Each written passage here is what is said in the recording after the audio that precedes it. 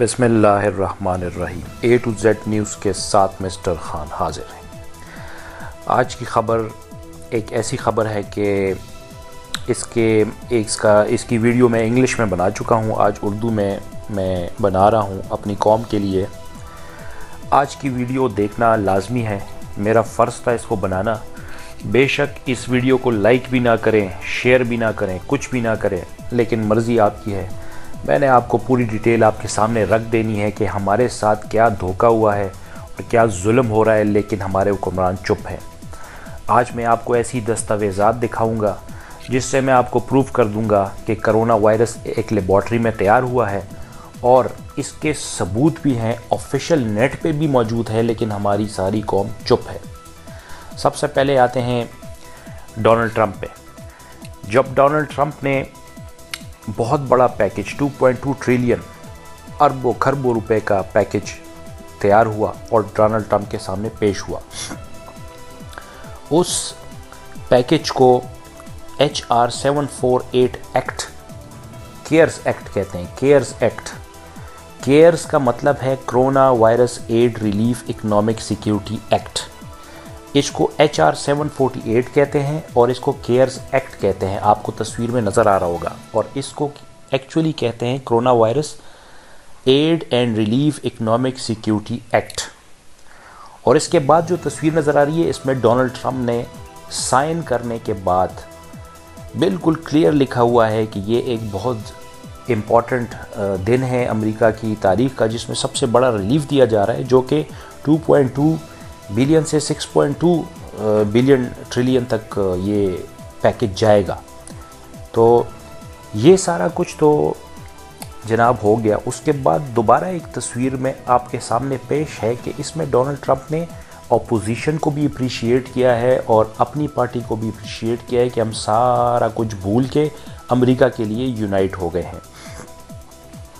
तो ये सारा कुछ तो हो रहा है, लेकिन इतना बड़ा पैकेज जब भी अमेरिका में अप्रूव होता है तो हमेशा देखा गया है कि इसमें चार पाँच महीने लग जाते हैं, क्योंकि इसको कुछ सौ, दो सौ लोगों से हो के सेनेट से हो के पास हो के आपके पास आता है, फिर अमेरिका के प्रेसिडेंट साइन करता है, और इस सारे प्रोसीजर में छः सात महीने लगते हैं। लेकिन यहाँ तो जैसे ही कोरोना आया, अमेरिका में पहला केस हुआ, और पहले केस के बाद एकदम ही साइन हो गया, और पैसे जनाब डिस्ट्रीब्यूट हो गए। अब सबसे बड़ी इसमें ये तस्वीर भी आप देख लें, दोबारा देख लें, इस तस्वीर में जब डोनाल्ड ट्रंप ने साइन किया है तो तारीख देख लें 27 मार्च 2020 और उसमें कोई शक नहीं है, क्योंकि कोरोना चाइना में सबसे पहला केस हुआ था इकतीस दिसंबर को। फिर वर्ल्ड हेल्थ ऑर्गेनाइजेशन ने इसको कोरोना वायरस का नाम दिया, यानी कोविड 19 का नाम दिया, वो 11 फरवरी में। ये आपके सामने लिखा हुआ है और ये वर्ल्ड हेल्थ ऑर्गेनाइजेशन के ऑफिशियल साइट पे है। अब मैं आपको एक और साइट बताता हूँ।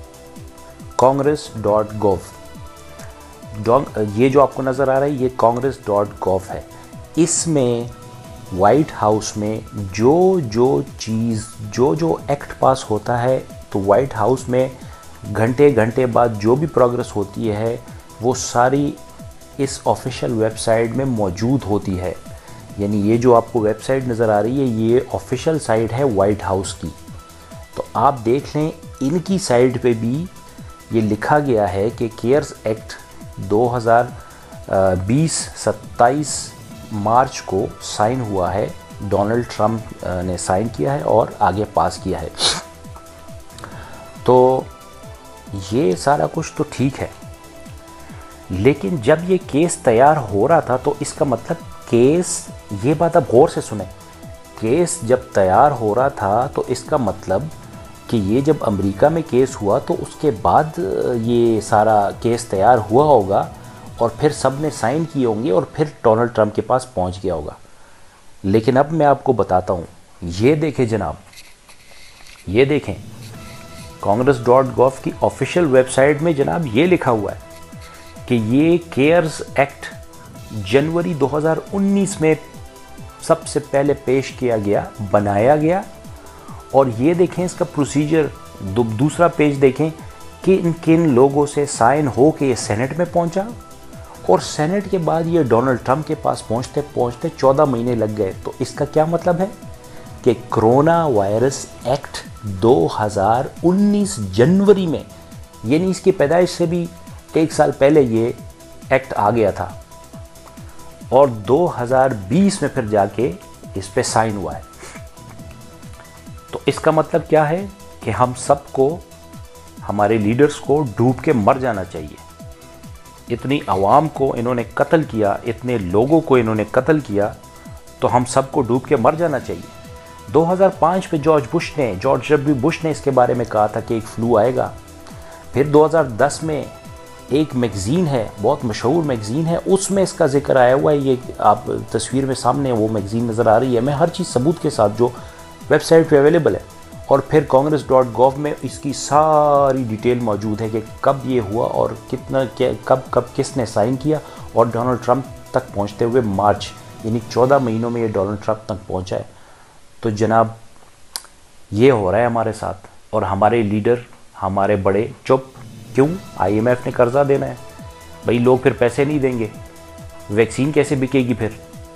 ये सारी गेम जो सेट हुई है, इस पर आप गौर करें। मेरा फ़र्ज़ था आपको बताना।